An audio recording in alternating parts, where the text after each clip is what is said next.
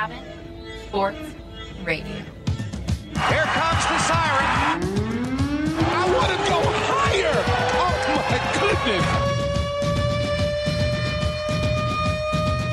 He's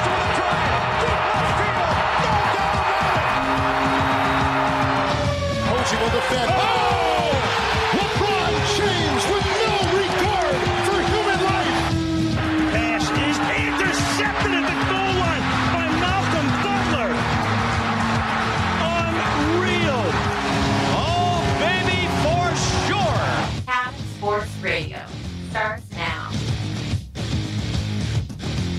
Cabin Sports Radio, the final episode of 2018.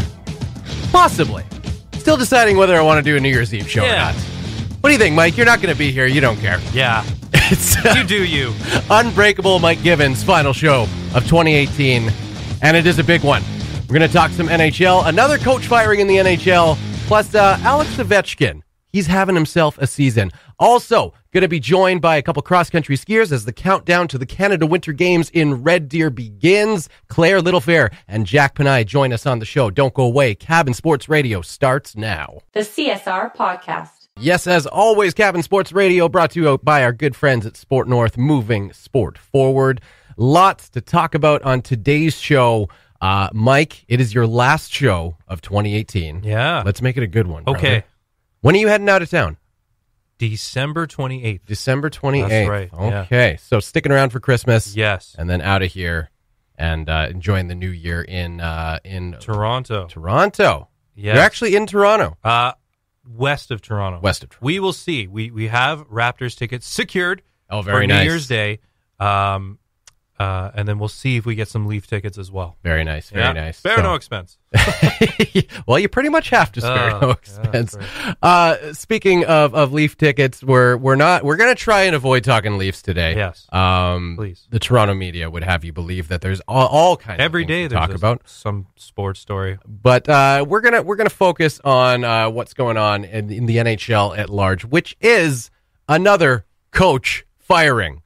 Five This year. so far this year. Ah. Dave Hakstol of the Philadelphia Flyers uh, was uh, relieved of his duties, his head coaching duties, this past Saturday, and uh, replaced by Joel Quenneville, which is interesting because we were talking about when uh, Todd McLellan, of course, got fired from as head coach of the Oilers this year, was uh, replaced by by um, Ken by Ken Hitchcock, and we were kind of wondering why why not Joel Quenneville Yeah. you know, there was kind of a thought, oh, maybe he's, uh, you know, maybe he's going to take the year off. You know, obviously he's got he's got a full a full year of payment that he could just sit on, you know, go on vacation, enjoy himself, and then decide, you know, what he wants to do from there. But uh, no, Joel Quenneville right back behind the bench uh, as the new coach of the Philadelphia Flyers.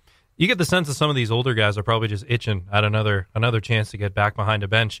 Uh, we saw that, as you mentioned, with with Hitchcock. Apparently, didn't take long for him at all to even consider the offer to get back behind the bench and, and coach the uh, Oilers after coaching the the Stars up until uh, the end of last season in April. So, uh, guys of, of, of that caliber, uh, Quenneville, Hitchcock, they've their, their their reputation precedes themselves. Yeah. Um, they they they're well respected coaches in the National Hockey League.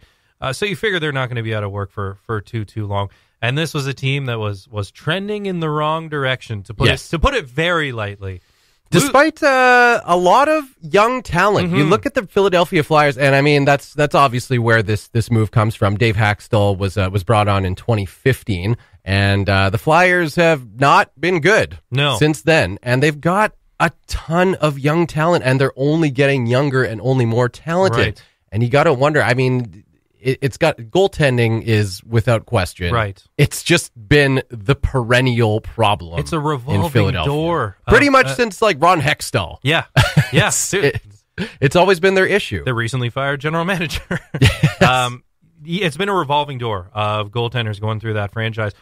Like you said, Wayne Simmonds, go to spare, uh, Claude Giroux, and then bringing in even veteran guys like James Van Riemsdyk over the over the offseason, but not addressing that critical need of who's standing in between the pipes for you every night. Uh, Yeah. And they just they haven't addressed that at all, even in the offseason. Uh, and we're seeing it right at the bottom of the league in terms of plus minus, a really hideous minus 23. Yes. They have lost four in a row, uh, winners in only three of their past 10. and they're getting blown out of the water. Yeah. like by by teams that they should probably be hanging with a little bit more. Vancouver five one over Yeah. the weekend. The Jets, who you expect to steamroll some teams, beat them seven one last weekend. Yes. uh, I think they've allowed at least four goals in their la- during that stretch. Uh, so the writing was on the wall Mm-hmm. for some time. This is a team that is is not trending in the right direction. Um, so they say goodbye to their general manager just two weeks ago. Yep. And now it's their head coach who was also shown the door. So, uh, hey, you hope, uh, like they have in Edmonton, they seem to have turned things around Right. Mm-hmm. under Hitchcock. If this is the the boost they need, uh, get a veteran voice behind the bench and and turn turn that ship around. Right. Uh, you're you're hoping that's the case if you're a Flyers fan. And as you mentioned, I mean, like some really, some really demoralizing losses. Like it's, it's one thing to be a young team and you know being in that kind of phase where you're you're learning how to win games. Yes. Um, the Philadelphia Flyers, you could argue, are in that phase. They've got overall a pretty young roster, but they do have, like you mentioned, some pretty marquee names as far as veteran guys who should be steering this thing in a much better direction that it's headed right now. But uh, you know that that not being the case, generally the head coach uh, that is the first uh, the first one you look at for a change to be made. Yes, and you, you general managers will typically get two coaches, and then you start looking at at the structure of the team a little Right. bit more. Uh, and and it was it would have been Hextall's call not to address that very obvious goaltending need Mm-hmm. in the offseason when he signed James Van Riemsdyk, other other forwards. Um, so not addressing that that that critical need. You'll see them typically get two coaches, and then they'll, uh, you know, and and that's I think that's what what what it came down to for um for Dave Hakstol the talent you think is on the ice, if it's a voice in the locker room kind of thing, he just wasn't getting that level of production you would expect from that roster. Right. So uh, if you can get that from another coach, maybe it was a, a coaching issue. If the the issue is is much larger and more of a structural thing, that's when you you take a look at the GM, and they've they've done that already this Yeah. year too. So So they're kind of running out of they options got for a who lot to of blame. problems. A lot of problems in Philly apparently. Now, uh, you, you got to think with a guy, especially an experienced guy, a guy who's had a lot of success even in recent years, like Joel Quenneville.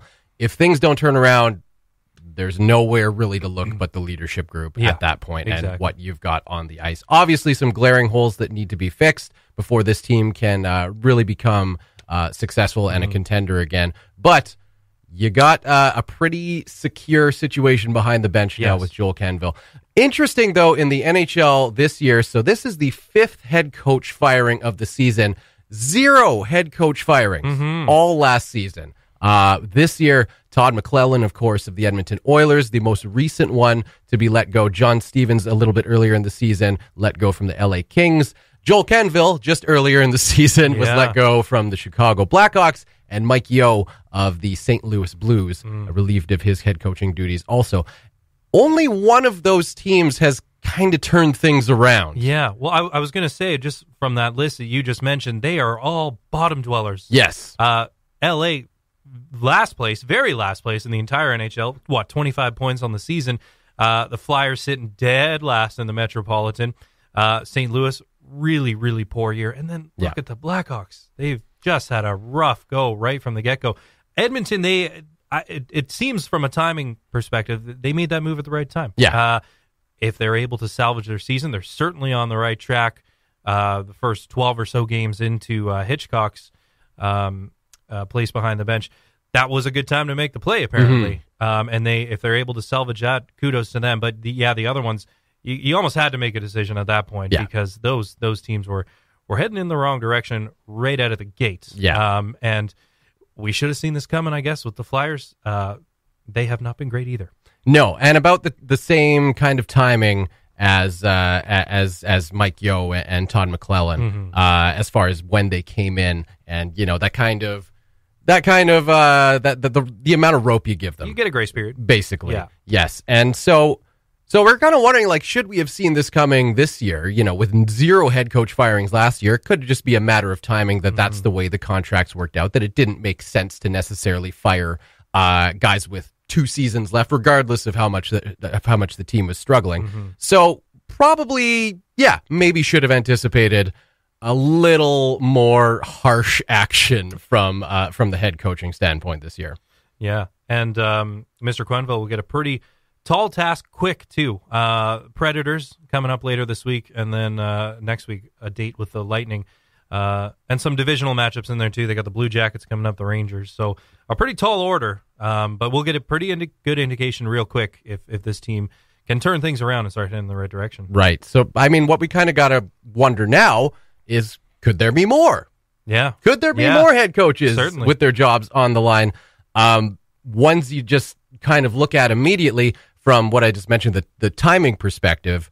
Two guys who were brought on in uh, 2015 with their respective clubs and their clubs not looking so hot Hmm. are uh, Jeff Blashill, who, of course, replaced Mike Babcock as the head coach of the Detroit Red Wings after years as the assistant, an assistant coach, and uh, and head coach of the Grand Rapids Griffins, their uh, AHL affiliate.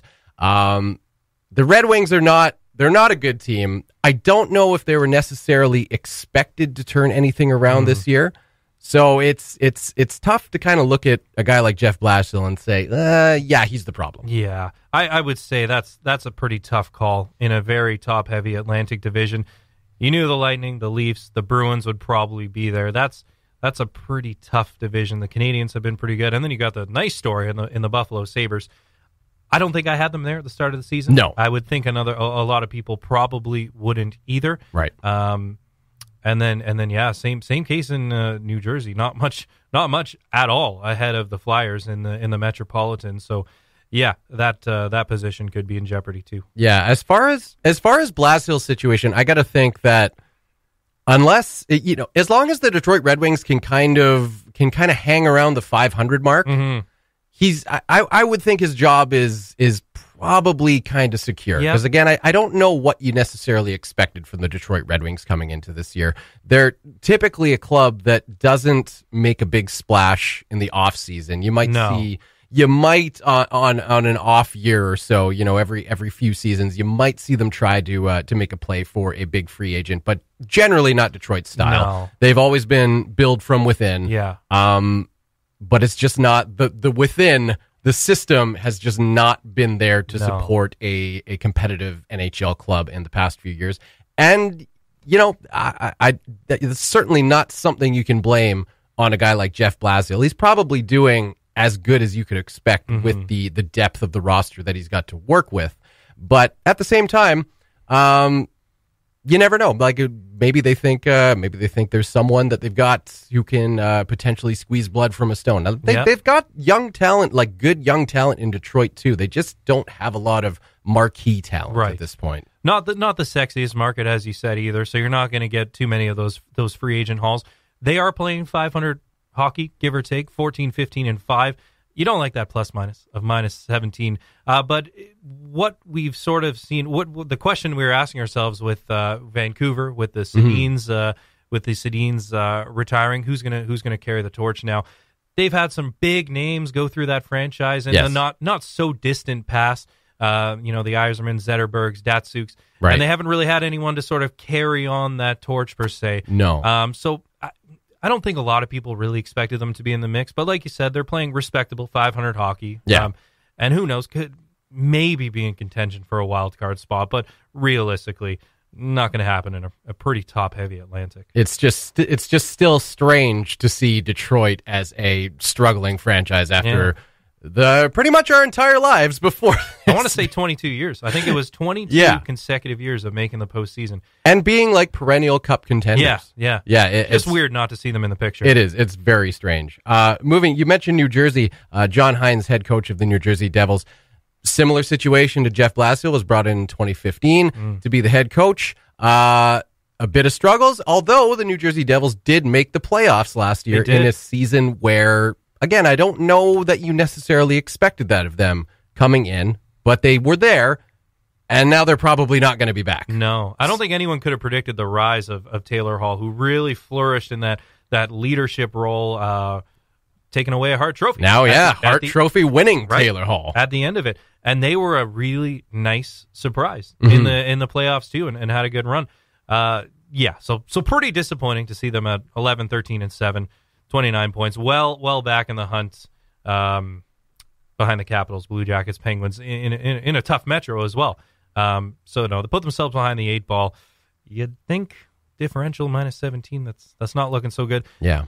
Two wins in their last 10 games will do Yeah. that too. So is he on the hot seat? You might think so. Yeah, that if I was to to take a bet as to Yeah. who I would think if there's any head coach right now that uh, that that may be replaced come next season, he would probably be my bet. Um, don't think it's going to be any kind of like in the next few weeks or something. I I, I have a feeling they they let this season play out, see how it goes, and then potentially make a, a, a change in the off season.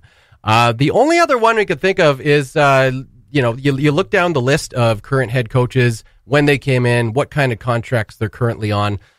There's only like one or two others that really you could think realistically maybe there's there's a chance that they get looked at to be replaced. And the only one I could see is uh, potentially Bruce Boudreau Yeah. in Minnesota, and that basically only being in the event that Minnesota doesn't make the playoffs. They're in pretty tight right now in the Central Division. Really could go either way. And they're another they're another team that they have a lot of depth. They have some marquee talent, but not necessarily those guys that that are going to put you over the edge. They are they're an absolute uh, an absolute team team, uh, for lack of a better way to express it. But they get it done uh, by committee rather than one or two or three players really driving the bus. Right. And and and you mentioned some of those talent uh Parise, Koivu, uh Devan Dubnyk, Eric Staal, Matt, Matt they they have the pieces in place. A lot of names from from days gone by. Um, so not getting that same level of production uh, we're expected to, or, or you, you would have liked to seen uh, coming out at the start of the season. Uh, but they're another team that that's just it's in a tough division. Yeah. uh, we knew the Jets would be good. We knew the Predators would be good, despite uh, and they've turned it around of late. Winners of three straight. Uh, they they've had a, a fair share of injuries. Yes. So you, you know they're going to turn around. They're going to be right in the mix. And then you've got the nice Avalanche story. Uh, Yeah. and they, they're they're looking pretty solid too. It's an uphill battle uh, for the Wild for sure. Uh, they have the pieces, um, but they could be on the outside looking in. Yeah. um, in a, in a pretty tough Central Division. Yeah, maybe a maybe a crossover situation Yeah. down the stretch, but uh, but yeah, the, either way, they're they're going to be in tough. hmm And then you got a fun Pacific actually too. So one of those teams could easily bump them out too in the wild card picture. So uh, there we go. We've had enough of uh, speculating as to what coaches might lose their job and their their personal income. Yeah, it's also public. It's also public. They must love that Yeah. part of the job. Cabin Sports Radio. Welcome back to Cabin Sports Radio. We are on the road to the Canada Winter Games here on Cabin Sports Radio. We are counting down the days to February 15th in Red Deer. And we got a couple cross country skiing athletes joining us on the show for the first time. We've got Clair Littlefair from Yellowknife and Jack Panayi, both from Yellowknife. How you guys doing today? Good. Yeah, I'm doing pretty well too. Right on. So glad you could come in. Cross country skiing taking place in uh, the second week of the Canada Winter Games, February 25th. want to ask you both first, uh, Clair, is this your is this your first games? This is my second games. Your second games. Okay, so you got a little bit of uh, experience under the belt. Your second Canada Winter Games. Second Canada Winter Games. Okay. So what uh, with a little bit of experience, how was your your first Canada Winter Games? My first one was pretty good. It was quite a learning curve. I was quite young. I feel like compared to majority of the really competitive athletes, but it's always fun to go out and race and see how it goes. So did you learn a lot in your first year, I imagine? Yeah. Yeah. and uh, what are you looking forward to, and what are you expecting now in going into your second games? I'm the top of the age group now, so I feel that I'm much more competitive.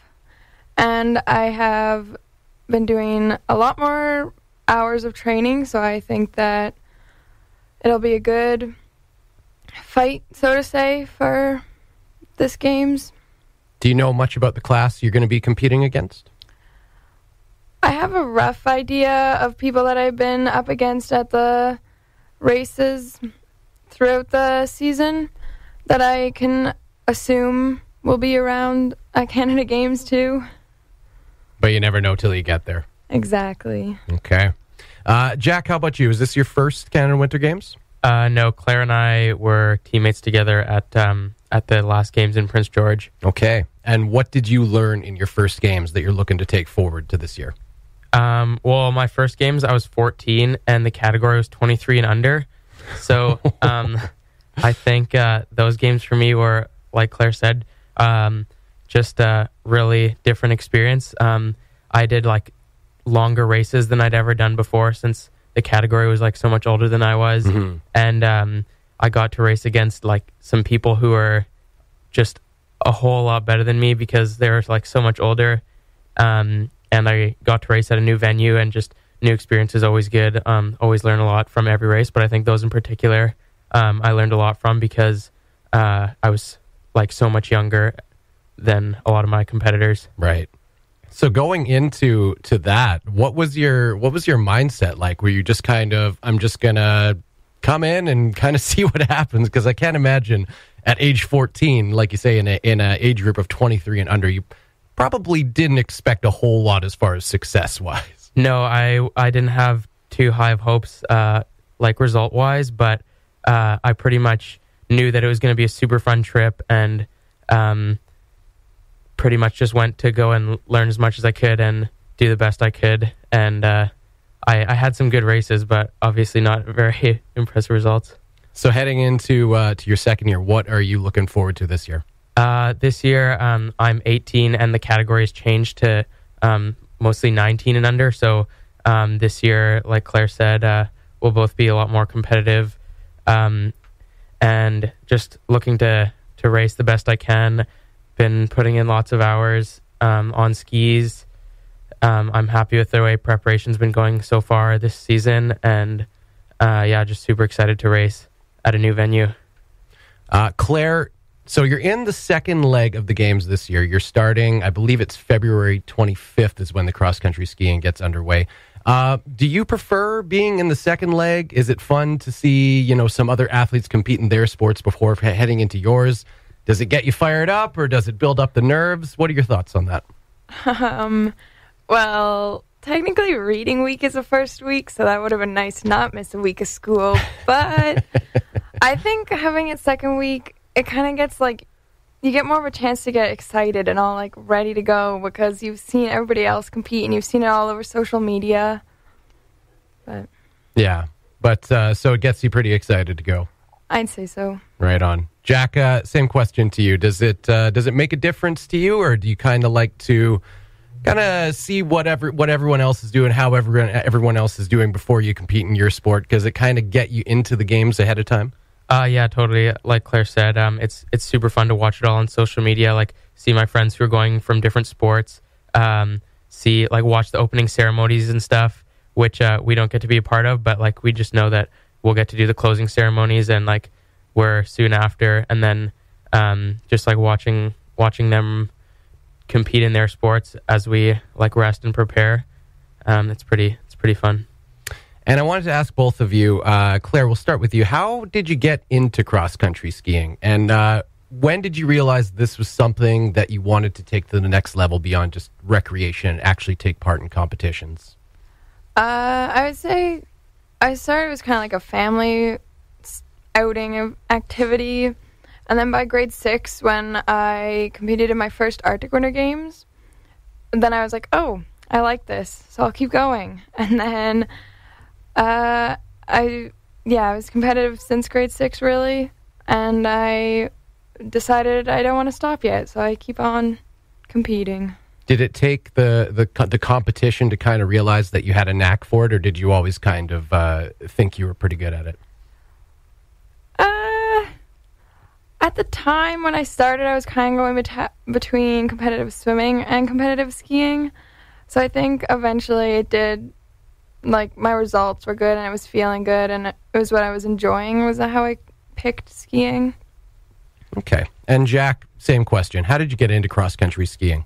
Uh, my parents just took me out skiing um, ever since I was pretty little with the strap-on skis over top of the um, over my winter boots, um, and then just put me in lessons when I was like five, I think, and then just continued like through the Jackrabbits program at the Yellowknife Ski Club, um, and then on to Track Attack, which is like for middle schoolers, and then uh, like by that age, I think they go on like a couple competitions um, in Alberta and stuff, and like racing, just local Yellowknife races, uh, all super fun, and going to my first uh, Arctic Winter Games, another like super fun experience, and then um, moving on to the the high performance program here in Yellowknife, um, where we we do lots of racing um, and prepare all through the year, like for the races, um, and I it's just something I enjoy doing. Um, I I love skiing and I love racing, so just never stopped. So we're about two months away now from the Canada Winter Games. What is the timeline? What is the schedule for you, Jack, as far as preparation two months out goes? Where do you where do you take it from here?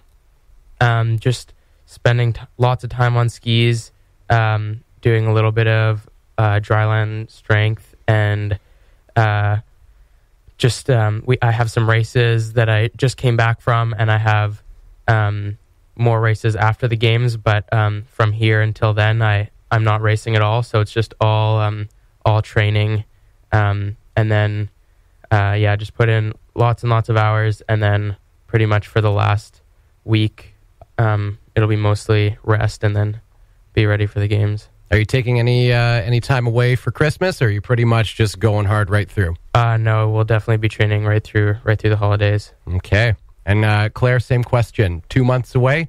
What is the training schedule looking like for you?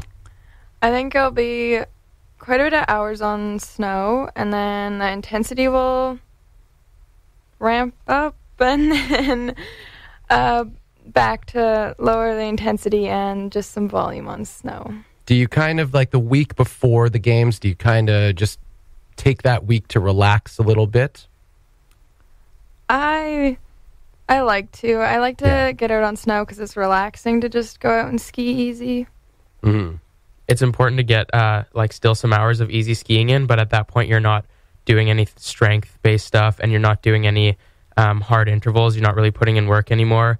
Um, at that point, you're mostly resting, but it is still important to um, be skiing lots, uh, like pr- usually like an hour a day or something for for like the week leading up. Right. um, as well as like some stretching and um, getting lots of sleep and watching your diet and stuff. Well, hopefully the weather uh, agrees with you too a little bit. Uh, two months in Yellowknife leading up, it's uh, probably not going to be the nicest weather, but you're going to have to push through, obviously. So, uh, so good luck to both of you. Two months to go from the Canada Winter Games in Red Deer. Jack, Clair, thank you so much for coming in today. Yeah, thanks a lot. Thank you. The Cabin Sports Radio Podcast, brought to you by Sport North, moving sport forward. Cabin Sports Radio brought to you by Sport North, moving sport forward. For more information, check out sportnorth.com. And for those who have not been paying attention, the great eight, Alex Ovechkin, is having himself a season. A season to be remembered. I mean, we we always generally, since uh, Alex Ovechkin broke into the NHL in the 06 season, we generally expect him to be among the top uh, goal scoring leaders. And, uh, well, he's there again. He is sitting at the top currently with 29 goals in 32 games. seemingly out of nowhere too. We had that that game that Patrik Laine had five goals not too long ago to put him in the lead. I think that gave him 21 goals at the time. Since Ovechkin has now built a rather comfortable cushion of five goals over uh, Jeff Skinner, uh, Buffalo's Jeff Skinner in second place, uh, 34 games played. Ovechkin's played two games less and somehow has 29 goals and has himself a five goal cushion atop the NHL scoring. Yeah, I'm not sure how you go about quietly putting together a 29 just- goal in 32 game season so far, but I guess we just again, we just expect it so much of Alex Ovechkin by this time that it's like, "Oh, he's he's nearly on a goal a game pace." Mm-hmm. Ah, yeah, that that's Ovi. We take his greatness for, for granted. We totally do. We do. We absolutely do. Uh, so on pace for 74 goals, which probably isn't sustainable. Um, but we are talking about arguably one of the greatest goal scorers ever. Yes. Uh, certainly the best goal scorer of his generation, and it's not even close. No. Um, we were blessed with two generational talents in, in him and Sidney Crosby. Uh, but that total would give us one of the highest goal totals in quite some time. Yeah. 92 93, uh, when we saw 76 goals scored by Alexander Mogilny. Uh, and Teemu Selanne. Yeah. Yeah. Tied for the goal scoring lead way back then. Uh, both it, well, actually, Teemu Selanne was a rookie. I think it was Mogilny's uh, second season Mm-hmm. in the league. But nevertheless, finishing both with a ridiculous 76 goals. Yeah, we haven't seen anything really close to that No. uh, since. The closest I believe we've seen, well, at least in the modern era, was uh, a few years ago when uh, Steven Stamkos won the Maurice Richard Trophy with a 60 goal season. Mm-hmm. We haven't even seen one of those since. It's been quite a while.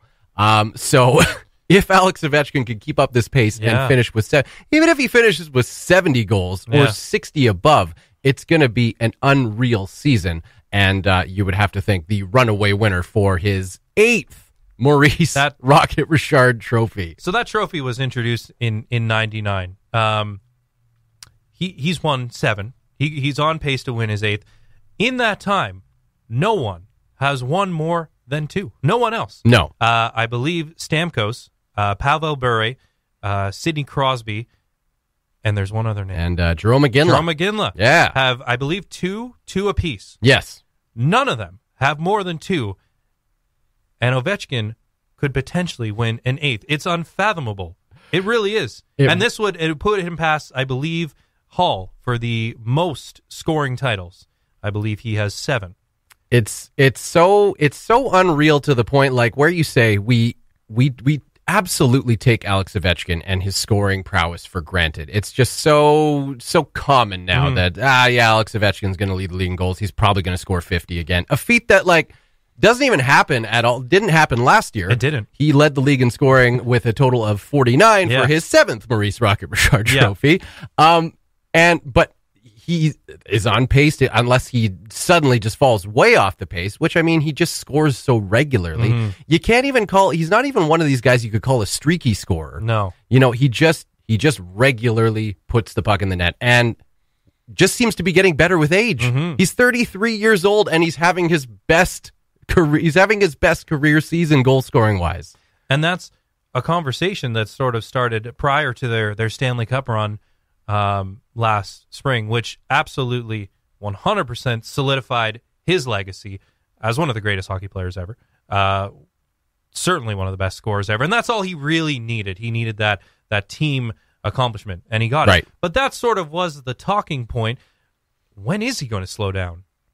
Because he's still putting up these numbers with seeming ease. Yeah. it it, it, it feels like, and he's got himself right atop once again. Uh, it's you really do start to take advantage of it, uh, or sorry, um, uh, you forget how good he is on a regular basis. Yeah, and and and it's so this. I remember this was put forward last year. Uh, someone wrote an article saying, "Is it possible that Alex Ovechkin could break Wayne Gretzky's Hmm. all-time goal scoring record?" And just as a hot take thought on it, I was like.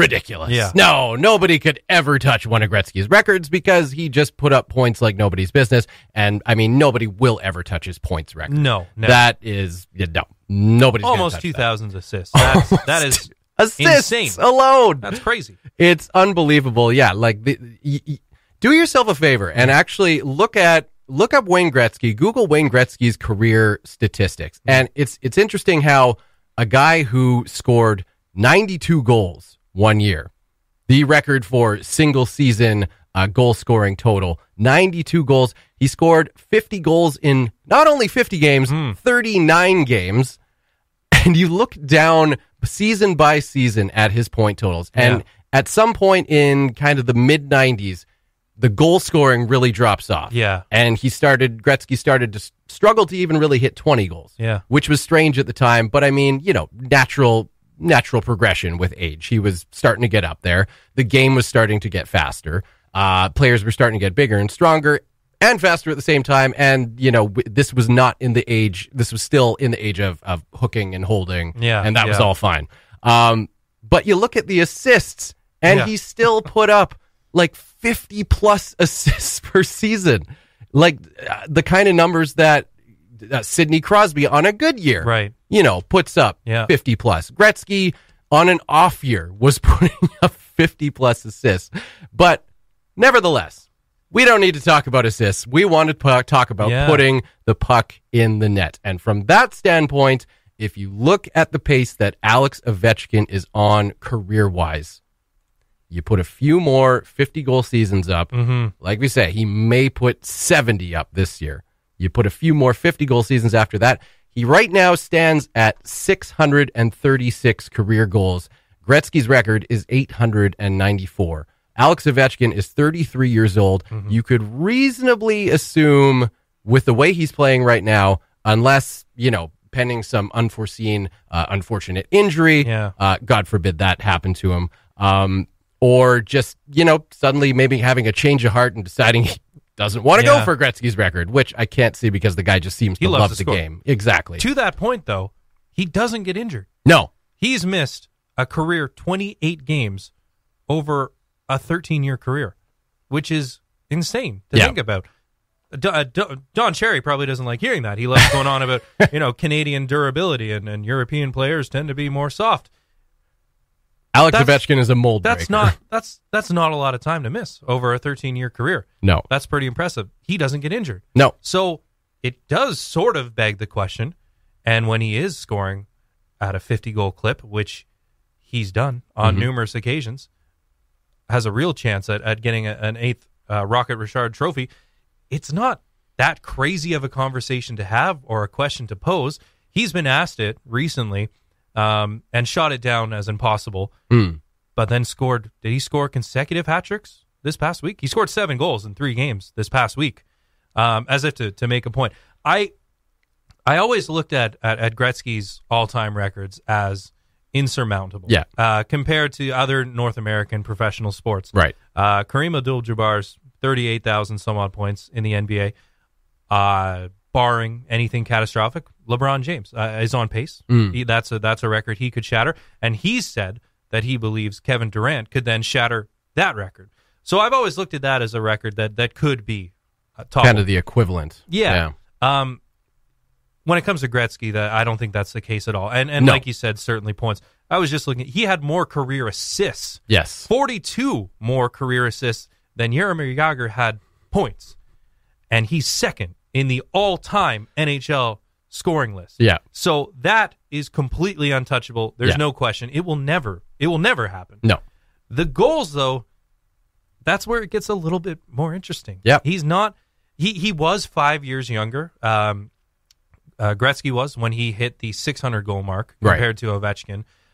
Um, and and time may be running out on him. Right. Uh, but but 33 years old, no history of health issues. We No. saw we saw Jagr, who's who's pretty high up on that list, number two, play well into his 40s. Mhm. Um, and you, you like you said, the guy loves to play hockey. Yeah, he loves to, he loves to score goals. I, I can't think of anyone who loves to score goals more than Alexander Ovechkin. Um, you know he's always going to get top power play minutes. That's another record he's actually creeping up on. I believe he's 39 goals. I think it's Dave Andreychuk um, for the all-time power play goals mark. Okay. You know where his office is. Yep. On the left-hand side in the circle. And nobody stops And no one and, they know that's his office, Yep. and it's still on. And they still can't stop yeah. it. So it's it's it's not that crazy of a question to ask. Um, you hope there are no health issues. There haven't been so far. I, I think I think I, I look at the the Gordie Howe. Uh, I believe he's got 801 goals. That, that Mm. m- maybe that's a little more attainable. Right. Um, but he's showing uh, Ovechkin's showing no signs, no serious signs, anyways, of slowing down. So it's not that crazy to think about. It's it's mind blowing how achievable it is, honestly. And for a guy who, like you say, you talk about his uh, his his durability over the course of his season, uh, missed 28 games, a total of 28 games in his 13 seasons so far. Most guys would kill for that kind of durability. You add to that the fact that Washington just came off a Stanley Cup winning run. Yeah. So not a lot of time in the offseason to, you know, rest the body, relax, recover. We always like to make jokes that it seems like any any given time, any year when the Pittsburgh Penguins win a Stanley Cup, they seem to kind of take the first month of the next season Right, off. right. And then they they're like, "Oh, okay, yeah, no, we're the best team in the league." And they just start winning games again because they're Sidney Crosby Mm-hmm. and Evgeny Malkin and the Pittsburgh Penguins and that's just what they do. They Yeah. just know how to win hockey games. But it always seems like that first month or so, they just they don't look like they're really Mm-hmm. they're really in game shape yet. Alex Ovechkin and the Washington Capitals, as we just mentioned, has just come off a Stanley Cup winning season, won the Conn Smythe Trophy, was unquestionably the Washington Capitals' best player, and won the MVP of the playoffs as a result. And now he comes back into the following season and is on the best goal scoring pace of his career. It it defies logic.